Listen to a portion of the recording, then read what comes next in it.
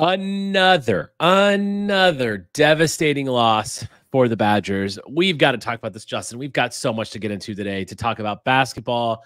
Where are we on Gard? I am beginning to change my tune a little bit on Gard. I've done a lot of reflection, and boy, I've got a lot to say about it. We're going to talk about Isaac Guerendo too. What a what a combine that guy had. All right, Sunday night, you were live with a Bucky report. I told. Welcome to the Bucky Report, your destination for all things Wisconsin Badgers. Authentic takes, Oh my god. game analysis, Touchdown Badgers! Ring one up! and discussion from the fan perspective. Thanks for joining us and on Wisconsin. Welcome into the Bucky Report. We are your hosts, Rajiv and Justin, back together on a Sunday evening to talk about all things Wisconsin Badgers football and basketball. Oh boy, Justin. Oh boy, oh boy. we are at the Bucky Report on Twitter, YouTube, and wherever you can get your podcast. If you like what we're doing, hit the subscribe button, hit the notify bell so you know when we make new content. Um, well, yesterday was pretty rough. Um, the Badgers lost another one. We're now two and seven of our in our last nine games. Illinois lost to a better team. They're pretty good, obviously, uh, but there's a lot to pick apart there.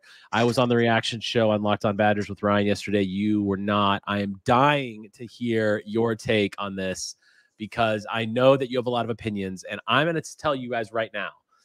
We're gonna we're gonna get into the Greg Gard thing a little more, and we've had this discussion before on the show. We've had the discussion for about a year on Locked On Badgers, and I feel like I'm beginning to move a little bit because my frustration level is growing and it is growing rapidly, my friend. I'm really not happy with what I'm seeing. And I've had a lot of time just in the last 24 hours to just think about this and stew on it. And it's an upsetting situation for me. We're going to get into the Illinois loss. We're going to talk player ratings today. We're going to have the Gard discussion. And we also are going to talk about Isaac Guerendo having a really killer combine go Isaac Guerendo. Justin, how are you, my friend? I mean, are you just are you still pissed off about yesterday? I'm, I I told you I'm apathetic. Like I've gotten to the point where I've I've made my decision on this. Like I I do not think that. Listen, Dark Ray. I'm gonna I'm gonna put this up here real quick. First off, we'll get David Thering's in it. You're frustrated from David Thiering. You think your frustration is bad now, Rajiv? Lose Thursday against Rutgers, and the heat is going to escalate by three levels. I'm following this up with Dark Ray. We were frauds this whole time. We weren't frauds this whole time. This team We is not, not playing frauds. their talent level. They are not playing their talent level, but they are not being co- well coached right now either. Um, we effectively are doing nothing. We're just going down with the ship in terms of our attitude of how we're handling things. And this is kind of what's been going on this entire season with what my problem has been. It seems like Gard comes in with a really good, and it's not even just game to game. He comes into the season with a really good idea of how to start the season and what he wants to do from a philosophy standpoint. And then teams adjust to the team. And then he just kind of stands there and be like, I need to do something again. I need to adjust to this. And it, it comes across like I don't know how what to do when my first option one fails. And it's I sit there and I'm like, it's not this complicated. You you can't tell me coming into the season you did not have an idea in your head of what you were going to do when this first option didn't work. There has to be something that you thought about for a contingency should something not work. And this happens the same way with his rotations. If somebody's getting chewed up, what is your contingency? You know, we have somebody that's playing really poorly on defense. What do you do? Do you just sit there and continue to let it just get eaten up, or do you try something different? And he has made a concerted effort to not do that this entire season. And at that point, if you're not playing well, what do you expect to change? Like, if they already figured out how to attack you and you know that it's working and they're effective in doing that, do you just expect your guy to be like double down and play harder? Because if he's giving you your best right off the bat, you can't expect him to go up a level unless you're just expecting him to get lucky. And that's ridiculous to just hope. Like Burgess Meredith, and I'll, I'll say it from Grumpy Old Men. You can hope in one hand and crap in the other and see which one gets filled first. And right now, he's got a pile in a hand right now. That is not not getting better. It's just frustrating. Oh man. So yes, 91-83. We lose to Illinois at home yesterday. Tyler Wahl, I thought had a really good game. Yes, I know. I put it on Twitter during the game yesterday, and I got a lot of uh, hate mail back saying, "Have you seen him play defense?" I, I get that. Okay, I understand that that Marcus Domask literally abused him. However, without Tyler Wahl, we lose that game by 30 points. Okay, Tyler Wahl was our only offensive outlet that we that could do anything in that game yesterday. I do. He's my player of the game for sure. I just feel like he absolutely played his butt off, and I almost wish we would shot more. I mean, I, he could have had he could have had 31 just like Domask if he just kept shooting, and I think we kind of got away from him I, at, at key I points. This game had some some correlation to the Arizona game, and that was that we they came out wanting to run, and especially in the second half, and we were just like, we can play your game and we we can't play that game with Illinois. The, the the way this game should have played out is we should have tried to slow them down and grind them a little bit and just out execute them. Play them in the half court and make Illinois play really well in the half court. And this team just it it wants to be better than what it is, like the talent level is. It's probably good enough offensively that it's a problem meaning like what we did earlier in the season when they played to that level and they realized that they could go out there and just torch teams at times. We're not playing to that level anymore. And they still have this attitude where they're like, we can go head to head. If you want it, we can take your best punch and we can still play better than you. And that's not happening. Like we haven't played that level of offense now in what a month and a half. It's been a long time it's been a really long time and we had we had such a good start to this season and it's just mm. so frustrating to see what happened. Getting back to this game specifically justin like obviously Wahl i'm assuming Wahl is your was your top guy as well like he clearly was our best player yesterday um, you know, let's talk about the defense a little bit. Obviously, we gave up 91 points and we gave up a it's kind of weird. Like at one point during the first half, I even was texting you. I was like, ah, it's nice. We're actually playing better defense. And we still gave up 52 points in the second half. I mean, we still gave 52. up 39 points at the half. So we did. We gave up our defense points. was not that good. It was, but I thought it was better. I thought the intensity, the effort yeah, was the better. effort was better. Right, I, now I we gave that. up, we gave up. Illinois is a really talented team yeah, I mean, Illinois shot nine of 16 from three. Their field goal percentage was um 50, 51.8%. Like they, they, they shot really well. They they have a lot of athletes, right? They've got Hawkins, they've got Shannon, who shouldn't be playing, but whatever. They've got Domask, who's just just abused Tyler Wahl, Guerrier, um, Dainja. They've got they've got a lot of people on their team that are just good. And I felt like throughout the time, the second half, I texted you this and I was like, we can win this game, but it's going to take a really concerted effort to find ways to get stops late in the game. But they just have the firepower. I watched their game the other night against Minnesota. Same thing happened. They went they minutes. They, they went minutes without having an empty possession, like a whole yeah. swath of minutes. The same thing happened again in this game. They either get fouled or they make buckets. They are extremely good at what they do. That being said, you can't give up 91 points. Okay. I don't really know where this has gone on and where where it's gone wrong, what is going on with their defense. I think the effort was better this game, but it always comes back to adjustments are never made. And that's where we're going to get into the Gard discussion after a little bit. But what other takes in the Illinois game? What upset you the most about the Illinois game? Do you take any positives? Because we did play a little better, Justin. We did play a little better in this game. You have you have to, you have to give them credit a little bit. I think offensively they were better, but I just don't think it matters anymore at this point. Like, what a. I still am of the mindset. I, I would not shock me to see us trip up against Rutgers now because no. we're we've developed bad habits. I, I have to believe we have to I'm be able to. Be that it's not right? going to happen, but I, we've played poorly enough now that I'm to the point where I'm like, I don't expect us to come out and just set the world afire. And if they play defense to the level that they're capable of, they have something they can hang their hat on. I don't think we do right now. It's possible we play better against them. I don't think that Crowl is going to be exceptional against their center. And I think that that's a problem because it was a problem in this game. Him not being able to do anything is an issue. And it's it's not just him, you know, not being on the court. It's him not being effective even when he is on the court and that's that's a problem for this basketball team. You, we can't play four on five. You need you need to at least try to to match somewhat what the guy across from you is doing, and whether that's defensively or offensively or rebounding, whatever. And there's too many games where we we mm. lose that something in that regard to the guy across. Yeah, I just Oh, oh, go ahead. I, I just think that at this point, I look at it and I'm like, if we don't shoot well against Rutgers, I think we're going to lose that game. It may be an absolute rock fight, but I think they're capable of making us uncomfortable. And if we don't shoot well, it could be a problem. If we lose against Ruck, well, first of all, I think we'll shoot okay because we do we do tend to shoot better at home, right? We're, we we mean obviously just as evidenced by the Illinois game, we will play better. Now Illinois' defense is not really that great, but that doesn't really matter because they scored 90 points a game, like what we were doing early in the year, right? We were just outscoring people. Illinois does that every game. Um, Rutgers does have a better defense. Now, Rutgers lost on the road to Nebraska today. Uh, Nebraska took over our spot in the the fourth, fifth spot. I think, right now, I think we're like the sixth seed in the, in the tournament. It's just absolutely ridiculous. Um, we fought where we've fallen from. It's oh my goodness. All right, let's get some comments in here. Um, Phil says if we get an eight nine seed and lose in the first round, does Gard officially land on the hot seat? Phil, we're going to get into that um, in our next segment, and there's a lot to talk about. Mm. Tyler says Crowl only had four points. Ryan is smoking something and thinking he's underrated.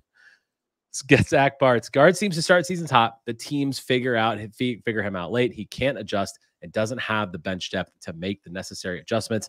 A tale as old as time. Yeah, I mean that's that's true. David Thering, this team thinks it can win a track meet every game. It may have worked in the past, but teams have figured Wisconsin out. Let's stop here and talk about this a little bit, Justin. So, yes, the beginning of the season, we did in a sense like just we, we were outscoring people. We could do what we need to do. We were covering up some defensive issues. And said and, and david says teams have figured us out. I don't necessarily think they figured us out as much as we're just not playing as good as offense as we used to. And for some reason which is unlike any wisconsin team that we've ever seen in our fandom we, we just can't manufacture any kind of a stop ever. And that is really frustrating. So i think that that because the defense has been sort of been much maligned and getting a lot of attention, it's affecting us offensively because now the guys are pushing so hard offensively because they have to. They know they've got to outscore teams that the only thing they can do is try to just win a track meet like this. And it's really it, it's the, the the turn that has been taken in this season is shocking, and it's obviously the defense, but the offense can't outscore people. We're not surprising people. Do you think we've been figured out? Do you think it's a, a, um, a fatigue issue? What do you think about David's comment here? Well, I mean, we're playing down on our rotation. Not having McGee and Blackwell being out for a prolonged period has put some wear and tear on some of these guys that they we would we would like to have avoided. Like Chucky has played so many minutes at this point. Blackwell being out really put some of the Storr and uh Klesmit in a rough spot. And for whatever reason, we're just we don't we're not going to play Connor. So I look at it this way to an extent. You have to look at Garden. He has to take a look in the mirror and say, if if you don't think any of these guys are good enough to play, that's kind of an indictment on you. That you feel like you have to basically run your starters to death to be able to compete in these games. Like you've done an that poor of a job that you basically have to kill these guys in order to compete. And I, I don't know what you could say with regards to that. I think they are tired, but I don't think they're so tired that they shouldn't be winning these games. I think a lot of it to me, it's mostly defense, to be honest. I, I, don't think offensively we've really played that poorly. We have regressed to the mean a little bit, but I think we were probably out executing things. Like, I don't, I, I don't want to say teams have figured us out, but they've figured out how to be more effective defensively against us than what they were earlier in the season. And I just don't think that we have the athletic advantages in order to counter that as much, which is where we've kind of lost it a little bit. Defensively, we're just not good. This yeah. is probably the worst defensive Wisconsin team Ugh. I can remember. I don't, I don't even what the '90s. It's. I mean, it's definitely. I mean, I've been a fan, which is 1999, which is when I got to I, my my freshman year in Madison was '99 since then we've 100% this is the worst defensive team we've had. I mean there's no question. So before I think van gundy that, is coach right? It's like we're talking back that far. I mean and and that's that's wisconsin that i don't even know like that's how far back it is because i've i'm been around for like 25 years. David thering Virginia, you've been 0 for 2 lately in your bets for wisconsin in vegas. I would tread lightly in thinking Rutgers game is a lock. Yeah, you're right, David. I, I have to say that. I mean, that's I've just been I've been wrong about this because I, I mean, obviously, it's my optimism, right, that's getting in the way of the realism, the realistic view of what's happening with this team.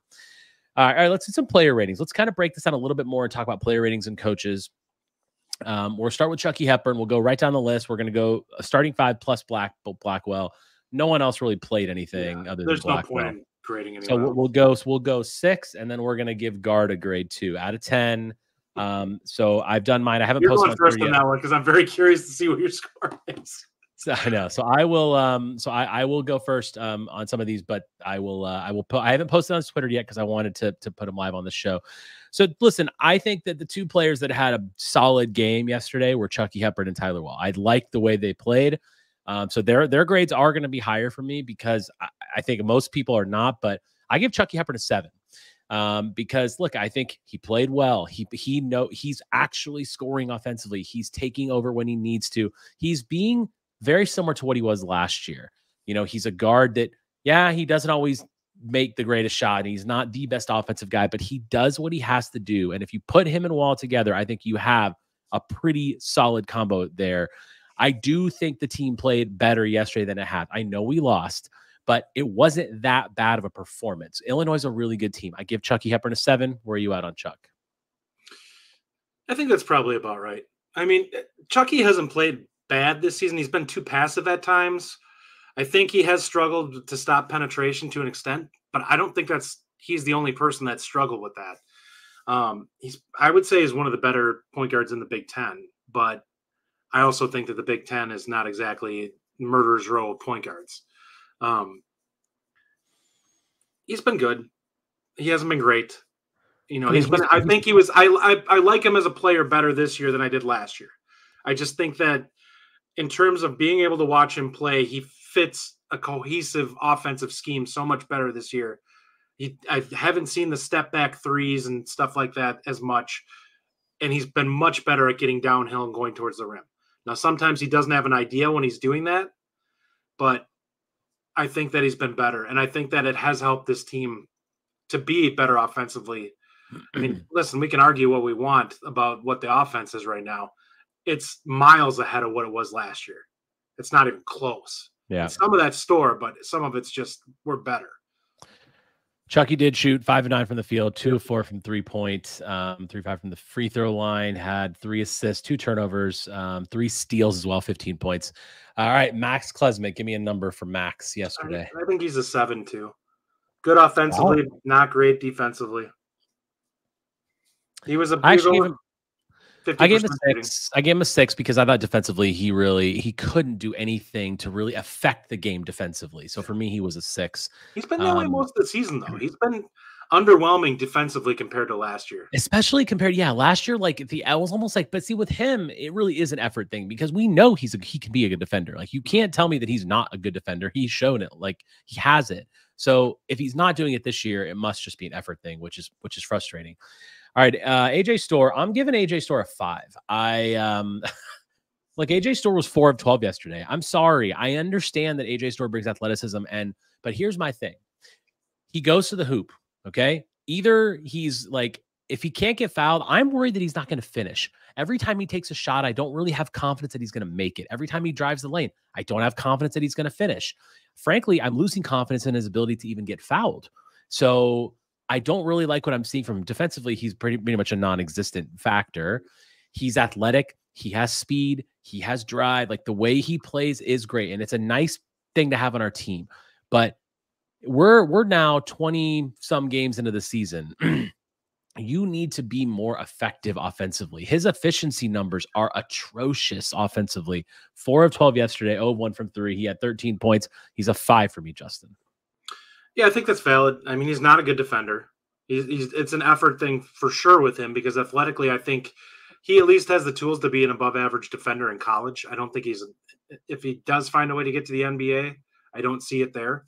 Um, there's just some things with him, much like I said with Chucky, that he he needs to have an idea when he's going to the rim.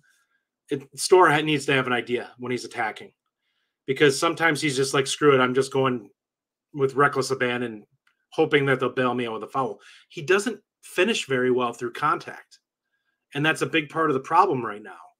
Is that teams aren't afraid to to just get in his way, and I don't think that he's necessarily great at he's not he's not getting the fouls that he was getting earlier in the year. Uh, he's still getting the line more than most of the guys in our team, but I just don't think that we're great from that regard in that regard in general. Um, he's a guy who needs growth. I don't want to get too down on him. I mean, he is only a, a true sophomore at this point. Yeah, he has, a, he has a bright future still yeah. for sure. He's he's he's a true sophomore in his first year in our program, and I think he learned exactly zero from Rick Pitino playing in St. John's. So um, I, I, think a five is valid. I don't think he was good in this game. I think that he's when when I talk about guys want to get up for a track meet, he is the prime example of the guys on this team that's like when the other team wants to get out and run, he wants to get out and run with them and play back the other way. And you can't do that. Like this team is not this is not like a Carolina team. Like we're gonna go out there and be like, oh, we can play any way we want. We're just as athletic as any team that we're playing. Wisconsin can't do that with Illinois. This is a game where you have to be smarter than them. Yeah. You have to let them run themselves out of the game, basically. John Burns says you guys are giving too much emphasis to offense. Max is a three on D and a six on offense. Ryan says that's a rough matchup for him.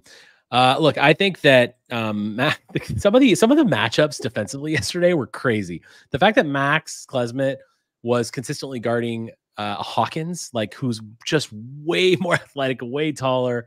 I mean, that's that's yeah. tough. It's tough. We the had fact that he didn't have 30 yesterday. points, by the way, given that, like, why are you not posting him every time down? Yeah. That's what I would do every single time. You have a six so, nine guy on a six three guy. Yeah. Uh, Tyler Wahl for me. Look, I'm going to talk about Tyler Wahl for a second. I gave him an eight, and I know that a lot of people don't think that he played really bad defense. I I understand that that Domask was abusing him yesterday, and the same thing happened over and over. The bottom line is Domask is a good player. It's a one-on-one situation. You're literally playing one-on-one, and Domask was hitting fadeaways. He was hitting layups. He was doing anything he wanted to Wahl, and you put that. You, it, I'm not putting that on Wahl. I'm putting that on Greg Gard. You need to make adjustments. Okay, I understand that if you double Domask, like you're you're letting four other guys who are very athletic get the ball and and have open shots. I understand that but something has to change. So I'm not putting that entirely on Wahl. Did he have a great defense yesterday? No, but some of the, for the most part, it wasn't horrible. Like, yes, there were times where Domask was just doing whatever he wanted, and I understand that. And it was late in the game, which is why I'm so upset about Gard not making adjustments because that's when the game was on the line. You knew he was literally getting anything yeah, I, he wanted. I had 30 I points. don't out. let him. Don't let him continue doing that. But he's but Tyler Wahl, but Tyler Wahl played incredibly on the offensive side of the ball. Absolutely amazing. I wish we could have gone to him more. He was aggressive. He played with heart. He took over. He knew that he was, frankly, the only guy that was doing anything. I give Tyler Wahl an eight, and I was very impressed with him. Yes, David Thering. I just see your comment up there. He says an eight. You're giving Wahl an eight in this game after he was defensive performance. I want to hear what numbers you give separately for offense and defense for Wahl. Okay, fair enough. I will do that uh, then in that case, I'm giving him a 10 offensively and I'm giving him a five defensively. That's what I would say, David, because I think it, I think fair. what he did was really important. We would got we would have been absolutely smoked in this game if it wasn't for Tyler Wahl. Absolutely smoked. And I don't think that's really a debatable point for me. I think Tyler Wahl had a great game. I want to give him a lot of credit. I give him an eight. Your thoughts, sir? I give him a seven. And I'm and that's simply the defense. I'm I'm waiting it a little bit more. I think you're right on him offensively. I think I think you're right that we probably aren't in this game if he's not effective. And defensively, he he definitely left you wanting, which is unfortunate. But so did everyone else on the roster. So it's it's hard not to. I mean, you give credit to Domask. Give credit to Domask. Domask played great. Like that's oh, just a, a guy player. that was in a zone. Ah, whatever. All right, Stephen Crowl. Oh, this will be fun. Stephen Crowl. What's your number for Stephen Crowl? Two. he's he's a three for me. So we're your best ability. Your best ability is availability, and you played 14 minutes in a game where they badly needed you to be an effective player and to hold down the paint. You couldn't do it, and you've you've had way too many games this season where you haven't been able to do it. It is what yeah. it is at this point. Yeah, for me it was a three. I mean, I, look, it's just it's not good enough, and and we've we've talked about him a lot. I don't know. I don't want to belabor this. I think that look, we he obviously had foul trouble. I think that his fourth foul was really frustrating for me. Um, Ryan was saying yesterday that he did think it was a good call or it was a weak call, and I understand that, but you can't reach in like that. There was no, he had no business picking up that fourth foul, and it basically eliminated him from the game way too early. And that's just not acceptable to me.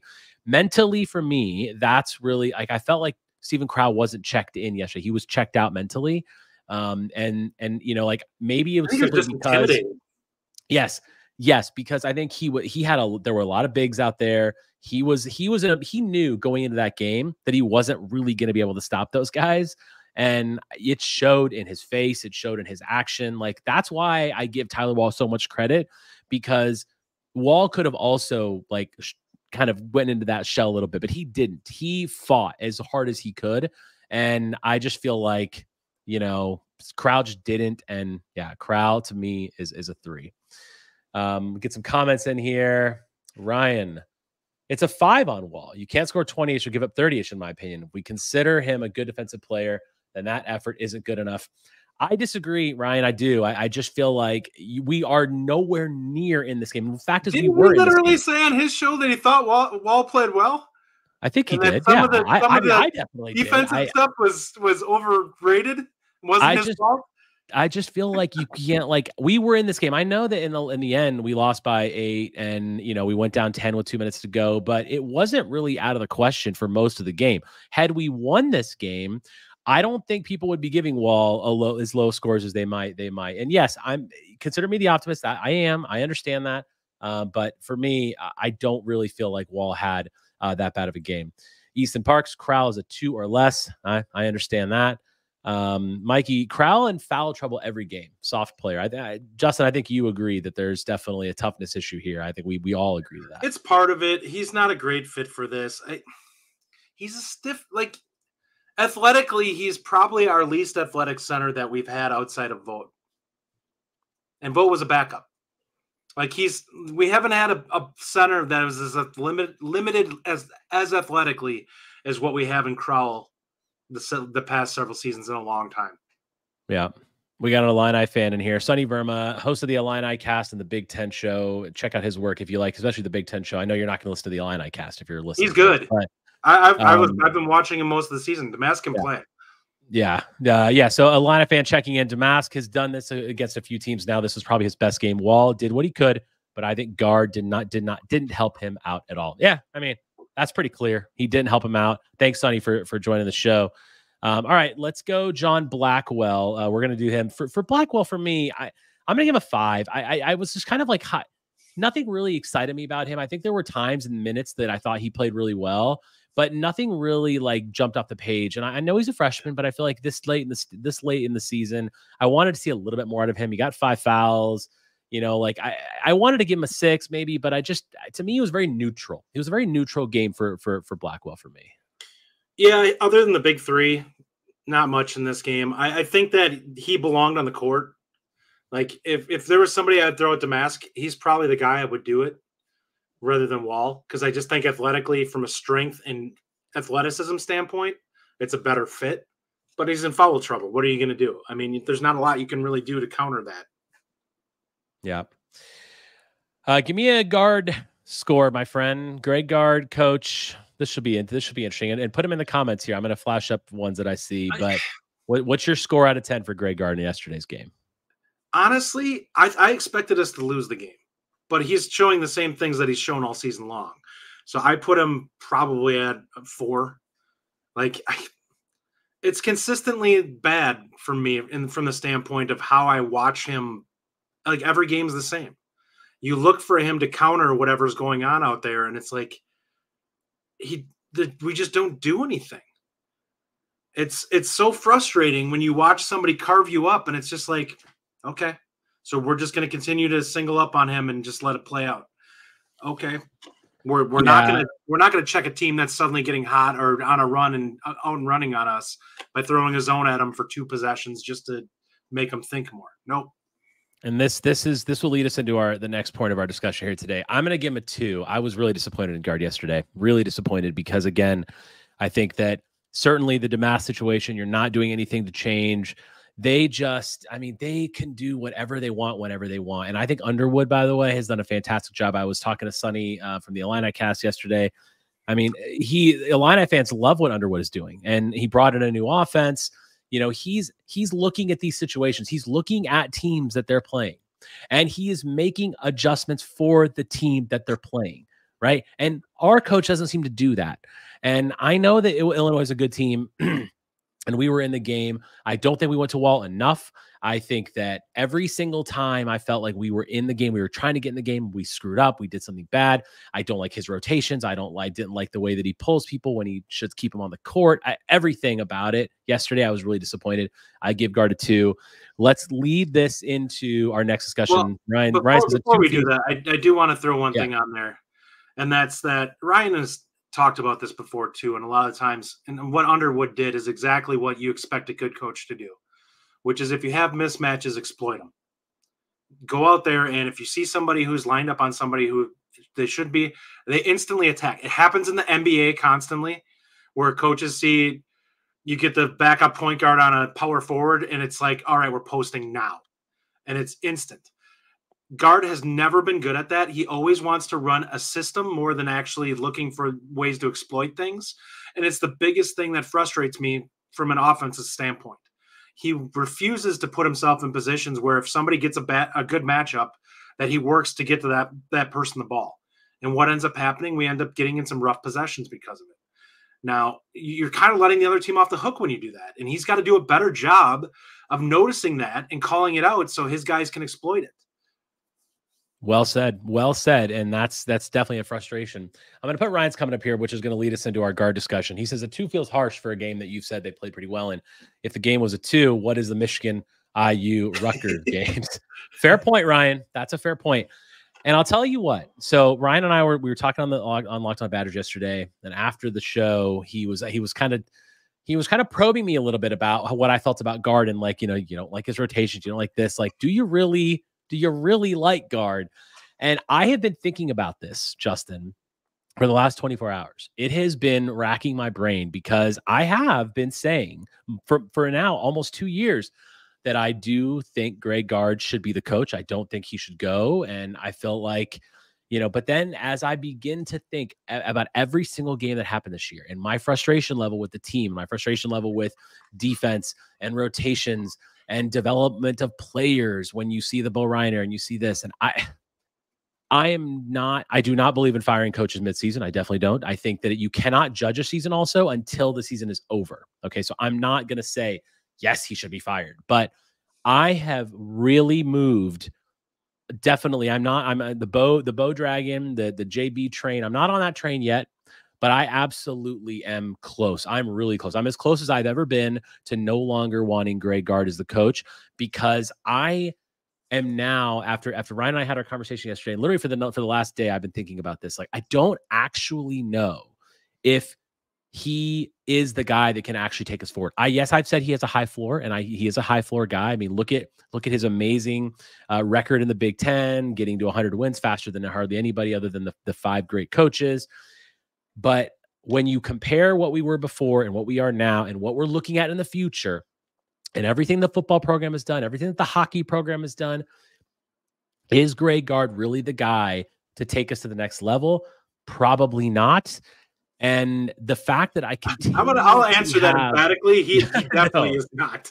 He, the fact that I continuously have these questions in, about in-game, in-game coaches, like how many times have we talked about the end of games and how he manages them?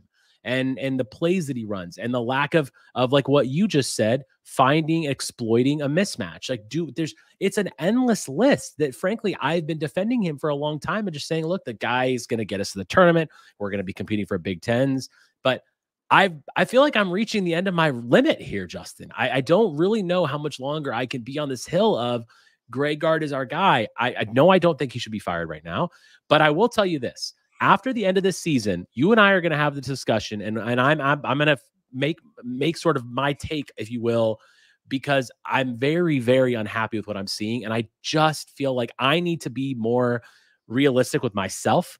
I need to be more self-reflective about the fact that I get I com- constantly complain about everything that I'm seeing on the basketball court, but yet here I am saying that Greg Gard should stay. Why do I keep saying that, man? Like I I, I don't I think I'm really getting close. I just It's frustrating. I'm really, really frustrated with everything I'm seeing from him, and I don't see it changing. And I think that's the key.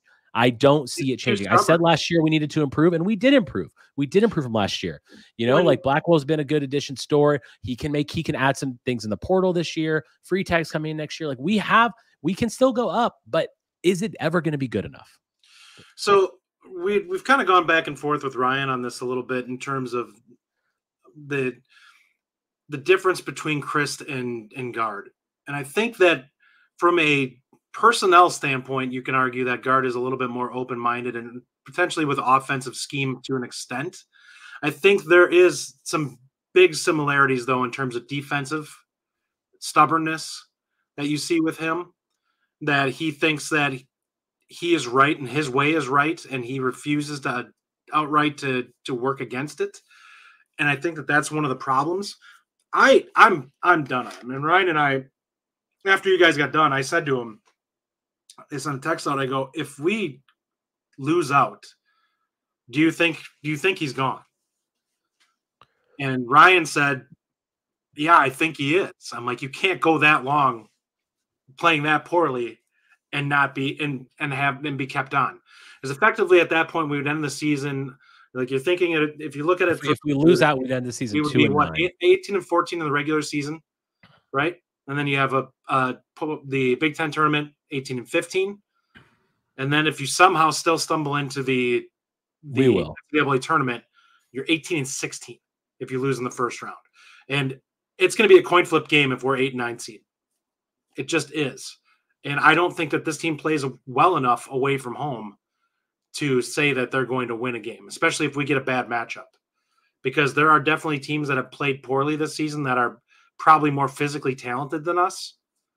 And if we get a bad matchup, we definitely could lose. And if that happens, I do think he's gone. That would be two back-to-back seasons. Like you could make you could make the legitimate argument if we finish 18 and 15 going into the tourney that we do not belong in the tournament. I don't care how many quad one wins we have. Like at some point, the committee has to look at it and be like, "You've been awful for the second half of the season. Why are we putting you in? We know you're going to lose." Like, are you just banking on the fact that they'll somehow figure it out and get in a hot streak going in the end in the tournament? It could happen. I wouldn't bet on it. What are the odds? Like ten percent that they suddenly just figure something out and start playing better?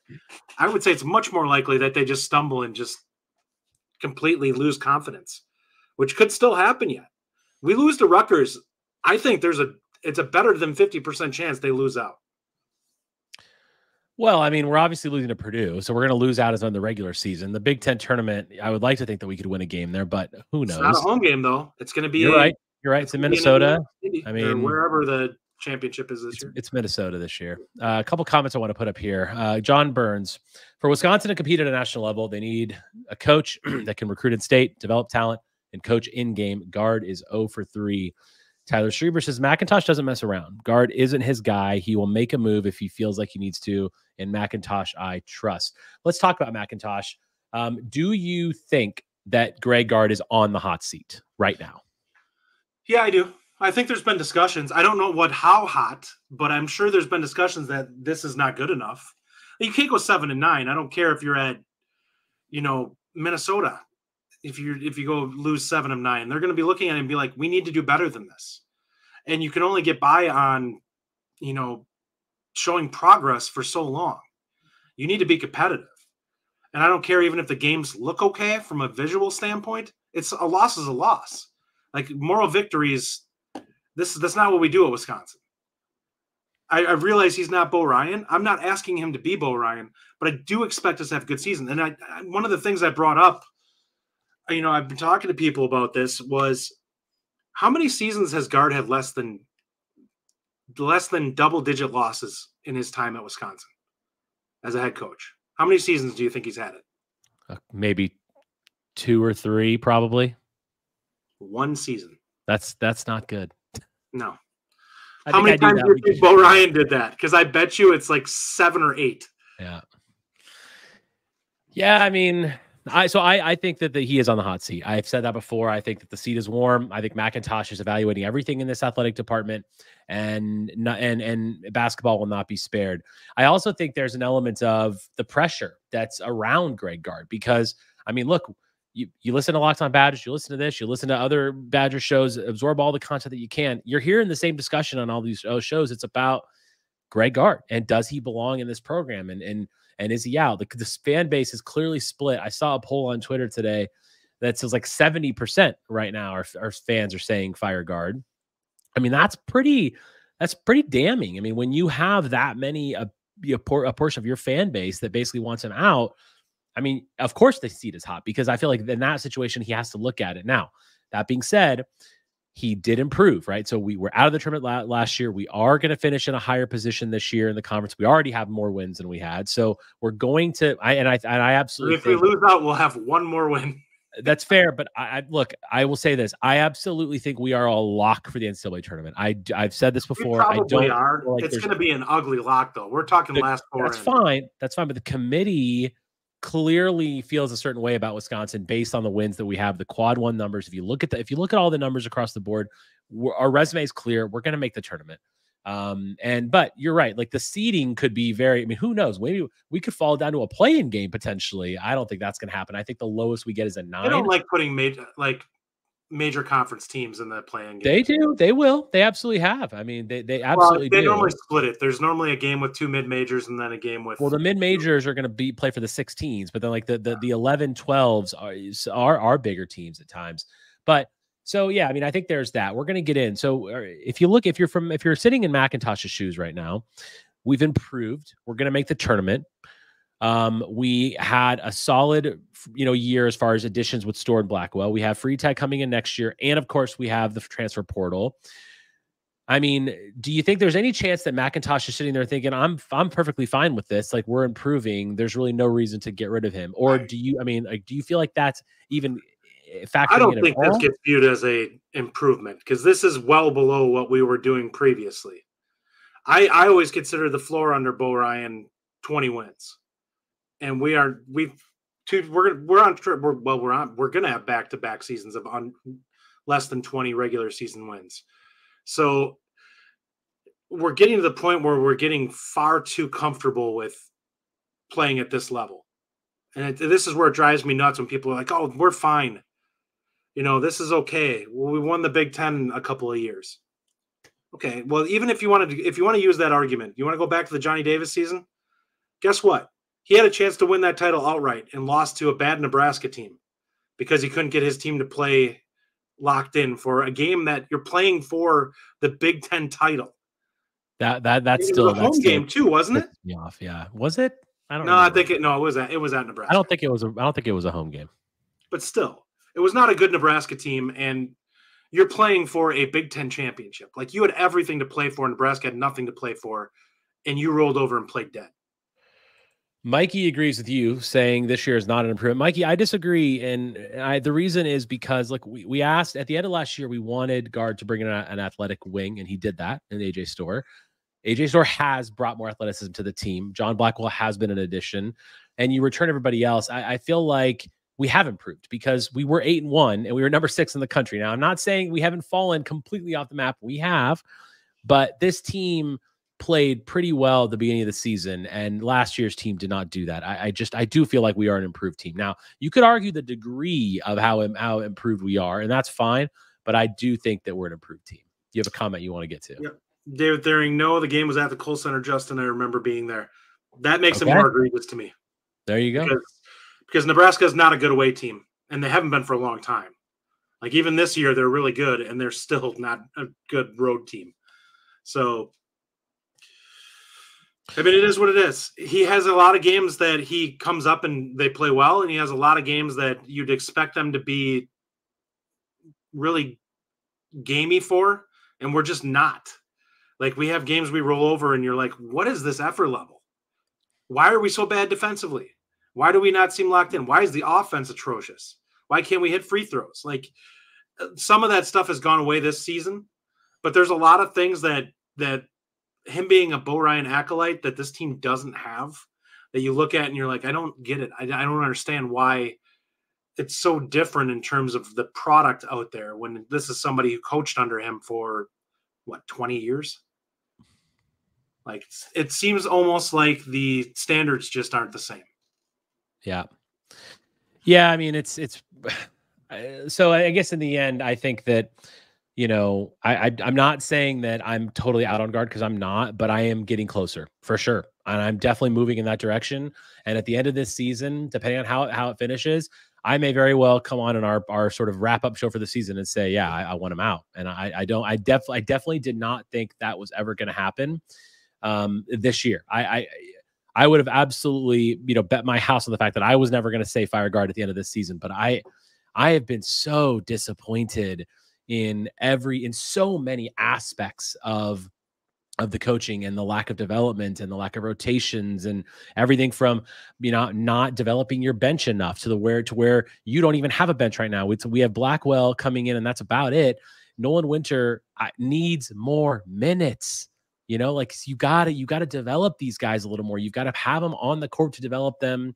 And you know, you, we've had an issue with development over the last few years. We haven't seen the growth out of like let, us look at Crowl in the Bo Ryan era a guy like Crowl, I think, would have developed more. His post moves would have improved. There would have been so many things that changed, but uh, we don't see that with with Bo Ryan. I mean, sorry, with with Greg Gard. And so I do feel like I am progressing in that direction. It sounds like you're there already, hundred percent. You're you're ready for. I, I, don't see the upside with him. Yeah. To me, I want a coach that's capable of winning a title, even if even if the floor is a little bit lower. If the ceiling is higher, I'd rather take my chances on the ceiling. And I just think from this standpoint, I know what Gard is as a recruiter, and I just don't trust him to strike gold and find his Kaminsky and be able to lock down a Decker and be able to find a Nigel Hayes type guy who's a A plus bench player who turns into an all conference player and is his older years. I love Blackwell. I think he's a really good player. If the, he was on the 2015 team, he's what? Our third point guard, probably. Like he's not playing on that team. He probably redshirted. He would have redshirted. Yeah, you're right about that. So I look at it and you're like, the talent acquisition just isn't there for us to get to where we want to go. And I I love Freitag. Like I think he has a potential to be an incredible player for us. But I look at this team and I'm like, I don't know if he makes the difference unless he is just transcendent as a as a freshman.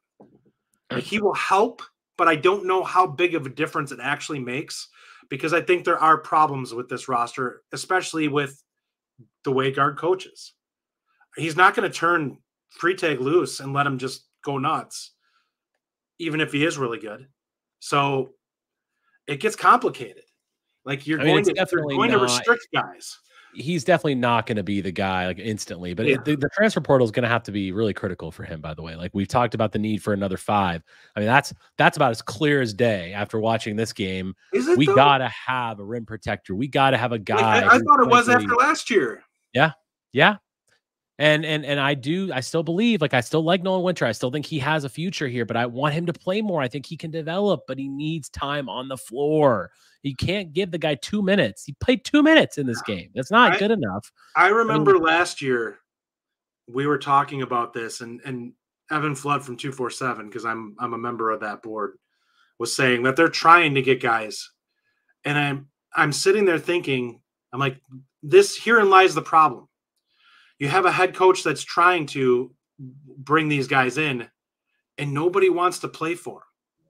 Like he got Storr, which is commendable, and that's a great get.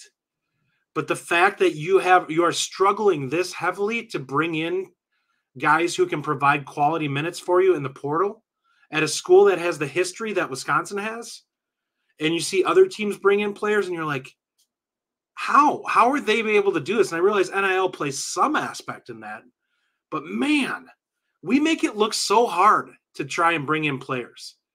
And even some of the guys got like we have we brought in a top 100 kid yet? I don't know if I don't think we have. Have we?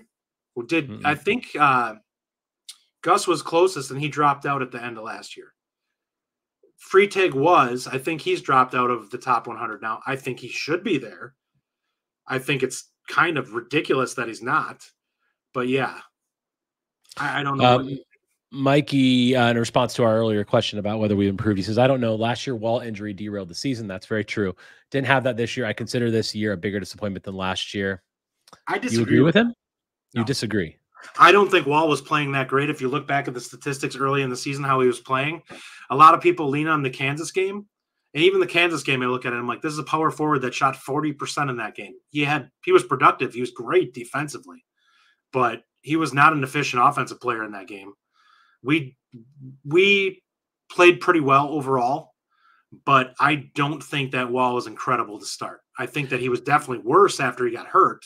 Yeah, I mean, I, he He's much better this year. I, I will He- flat out say he's been a lot better this year than what he was last year at any sure. point last year. All right, let's get bang on some comments here. We've got a lot of good stuff in here. I'm gonna I start a bunch of comments here. So John Burns says, oh, I already talked, I already get that one. Sorry. Um Tyler Schieber says winter Well, needs time in the weight room too. Yeah, there's Every no doubt about that. true freshman center, unless they're just a freak show, is going to need that. Bo Dragon Gard wouldn't even know what to do with Kaminsky and Decker. They would quit on him. I mean, there's a lot of discussion, by the way, in, in the in the comments about. And I, I'm sorry I didn't find all the comments put up there where they were coming in pretty fast about the whole Bo Ryan Greg Gard transition. Obviously, that is something that a lot of Badger fans weren't really comfortable with at the time. Obviously, Bo left midseason, pretty much forcing Barry's hand to hire Greg Gard. And then Greg Gard, obviously, Barry could have let him go after that. He kept him there. So I think that's there. Um, I've said many times about high floor. Tyler says high floor equals accepting mediocrity. I don't agree with that, Tyler. I think a high floor is Depends an what the ceiling thing is. to have in a program. I don't. I, I'm not. I don't think a high floor accepts mediocrity. I, think a high floor is a is a is someone that it's a it's a launching point. You got to have that ceiling. I mean, Um, Izzo's a high floor. Right. Like and and so I do think Gard has I mean I think that floor is falling a little bit by the way. He does have a high floor but that's Yeah, not there he's, he's like 70 years old. I mean, he's been doing it for 30 years. He's you expect it to fade at some point. Um Easton Parks, y'all got to talk some hockey sometime. Now, Easton, I think this is a good point. I want to bring this up because we are I, Justin and I both have said we want to try to get, get talk more hockey. I do like hockey. I like I'm an NHL guy. I don't really follow college hockey, but I have been watching what's what's happening with Hastings. I'm very impressed with everything that we're seeing from Wisconsin, and we will we will talk about it certainly after March Madness is is done. the most wins that the program has had since 99 2000. Yeah. No, no doubt. I mean, we, we talked about volleyball a little bit during that season, and we will when once the when the tournament starts here. Um, obviously, hopefully, we can make a run of the Frozen Four. We will. So for for all you hockey fans out there, you want us to talk about hockey, we're we're gonna commit to doing that, especially when the tournament starts. And and like we did with volleyball, I don't know how much we're gonna get into it outside of that because I just frankly don't know enough about um like especially the college game. I, I do know about hockey. I do watch hockey, but I, I'm a big Golden Knights fan out here.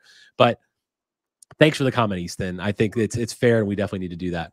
Tyler says Tyler's having good comments today. The successor usually never lives up to the predecessor. Bielema never won a Rose Bowl, and Gard has never gotten past the Sweet 16. Yeah, that's fair. Zach Bartz, honestly, I don't think we win another game. Well, I mean, you and Justin are on that. Justin said one and four, and he's he might be right about that. I mean, that's that's really, really, really sad. What did you think? What did, what did you say it was going to be? I said three and two. three? I said I said three and two. I was wrong. Yeah. Yeah. Thanks for pointing that out, Justin. That's nice. no That's problem. All right. Anything else, Justin, on Greg Gard? Any last thoughts on the basketball team before we move on to talk a little football here at the end? Not really. I mean, this is this this horse has been dead. Like it's it's turned into beef jerky at this point. It's been beaten so much. Um we're to the point where it's it's it's kind of put up or shut up. I I legitimately think if we're being honest here, McIntosh has to look at this and be like, listen, your trend stinks. And this team looks like it's dead. Like we gave you we expected you to bounce back from last year, and you really haven't and you do have a more talented team. So at some point, I have to look at it that it's you. Um, I'm not giddy. I don't want to see this team lose. I just also, This is a good comment. David says Justin over here being giddy about his correct one in four prediction. That's funny, David. I, I'm not giddy about it. I want us to be better than what we are. I just don't. I don't like having a a coach that I don't think has it win games that are meaningless, and him winning at this point would be meaningless, other than prolonging the inevitable, which is I think eventually we end up firing him because I just don't think he's going to be. He's not going to excel enough. So at this point, I look at it and I'm like, do we really want to have a couple more seasons where he does just enough to hold on to his job? because all that does is make you hate your team. Like, how many times do we watch the NBA teams that are the eighth seed and they're like, we're never going to win a title. We're not going to make the personnel moves that we need in order to make the team better to move up. And we're not good enough or, or we're not bad enough where we can get really good players in the draft. We're kind of that with when it comes to Wisconsin basketball right now. We're not a complete train wreck, so we're not going to fire our coach, but we're not good enough where we look at it and we're like, this is a team that can go out there and if they, they can go toe to toe with a top team.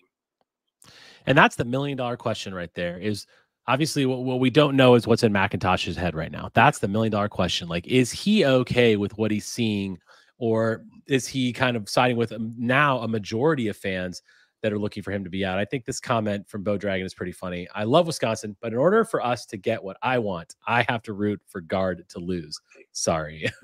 I mean, it's just a rough time right now. All right, so let's move past um, Greg Gard a little bit. To end the show, we're going to talk a little bit about a former Badger, Isaac Guerendo.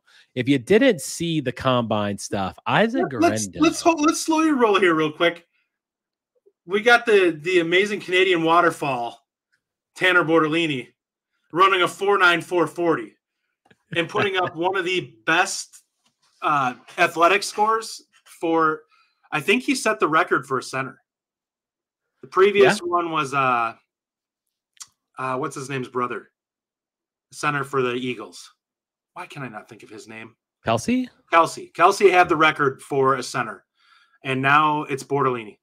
Yeah. So, and by the way, I was record, going to bring up Bortolini after Guerendo, but yes, Fine. yeah, a lot of people are out there. I, I think we need. He, we owe, he gets top billing. All right. I agree. I agree. I want. I was really impressed with Guerendo though, and I know Guerendo is a, is a Louisville guy, but whatever.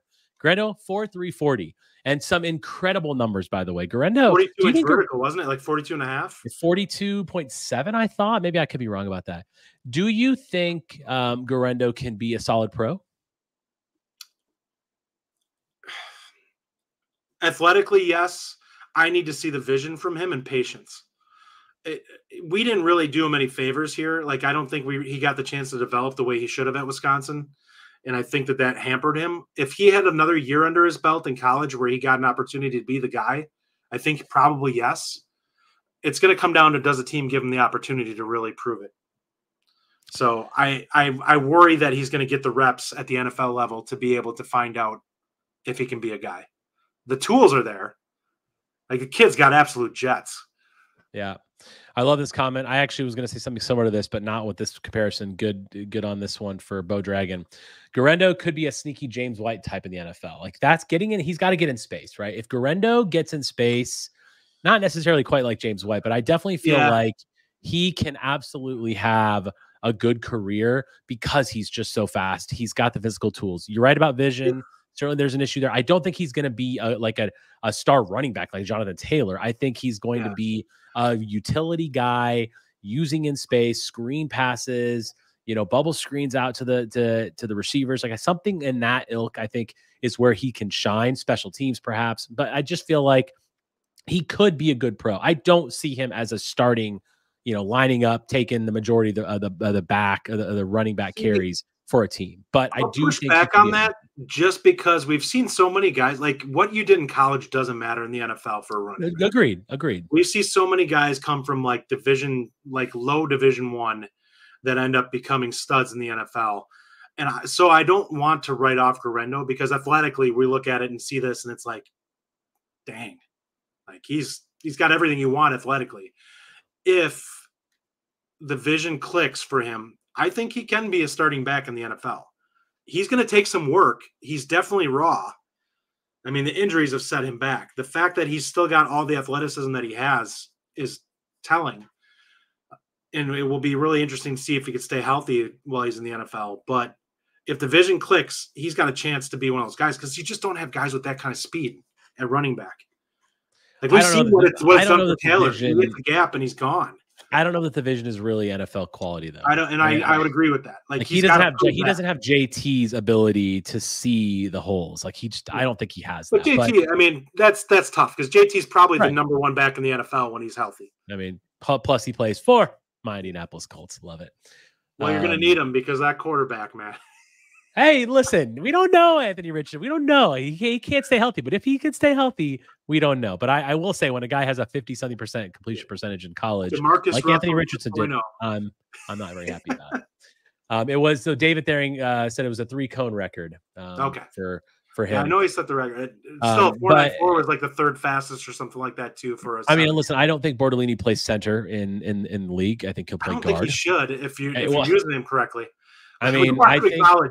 I will guarantee that an NFL offensive coordinator is like, you got to put some RPMs on that, or you got to yeah, go. I mean, the snap has got to be better. But look, look, Bortolini, Bortolini, uh, his best position was guard. He was at center because we basically needed to be him at center. I don't His think if we had great for guard too. if Renfro was healthy the whole time, and if he would have played, I think Bortolini would have absolutely been a guard. I think Bortolini will be a guard in the league, and I think he's going to have a great. I, look, I said when we talked about last week, we talked about our, you know, our like our like our line and whether or not we liked him better a lot than this year. I think that was on locked on maybe, but I, being off our line will affect us. Like he was a really good pass blocker. He was a really good run blocker. He was good. I think absolutely will be, um, you know, in good shape. Uh, David Thering has a good question here. Question for Justin Rajiv: Draft outlook for Braylon Allen. Justin, what are your thoughts on I, Braylon's? well, I um, guess I need to to clarify that. Do are we asking where we think he'll get drafted, or are we asking what does he turn into? Oh, well, let's let's go with the draft. Let's just Okay. talk about the draft. Like, where I- do you if think I had to take drafted? a guess on him, it being a weak year, I'm going to say third round. If I had to take a guess in a strong running back year, I'd say fourth.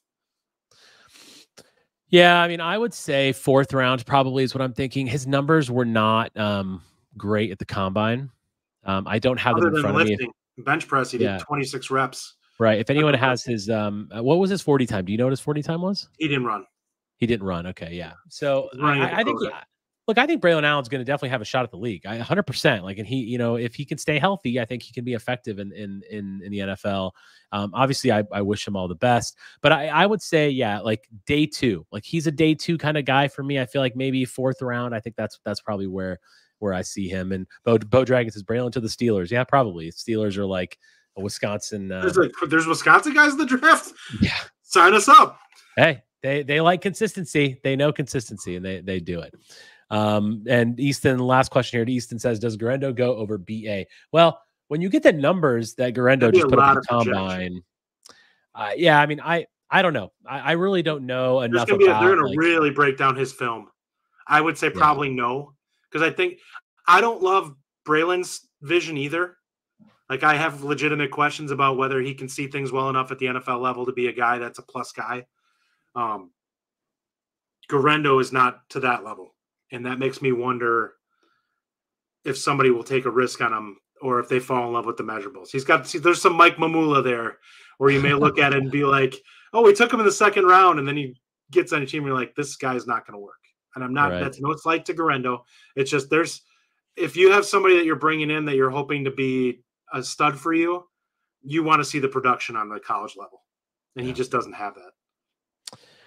Well, that'll do for our show today, guys. Thank you for joining us. Um, we still don't have information on the spring game. We don't know what's going to happen there, um, when that's going to be. But if it is, uh, hopefully we will be there, and we'll talk more about that as that gets closer. Spring ball is around the corner. We're very excited about football. Justin said before the show started, he's really, really ready to move on to football and be over this basketball stuff. So I'm, I'm there. I'm right there with you. Thursday, uh, we play Rutgers on Thursday this week, 6 p.m. Central Time, and then we play in uh, Purdue on Sunday to close out the regular season. I do think we go one and one. I think Justin thinks we go 0 and 2, but I think we uh I think we win. I think we beat Rutgers, but we'll see. Any final thoughts, Justin, before we close the show? Uh, well, Tyler Strieber saying Aaron Jones is the fifth round pick. Guerendo could have a similar path. Aaron Jones is excellent at running between the tackles.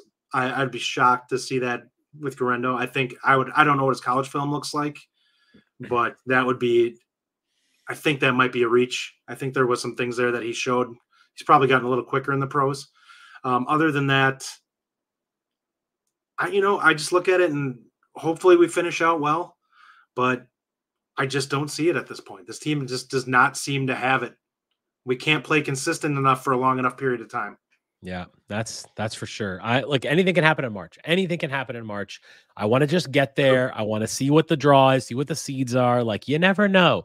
Maybe we can sneak our way into the Sweet 16. I don't know. I'm not saying it's likely because it definitely doesn't look like Definitely be at sneaking. all. but I just I would love to just have something to cheer for at the end. Um, if you're with if, if you've watched us the whole time, thank you so much. By the way, those of you there's there's a lot of you guys still in the show watching. Thank you so much. We appreciate all of the of the you know the support that we've gotten since we started the Bucky Report. So thank you very much.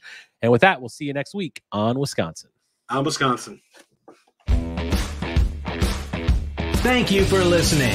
If you enjoy the show, subscribe to our YouTube channel at The Bucky Report or The Bucky Report podcast from wherever you get your content. Until next time, on Wisconsin.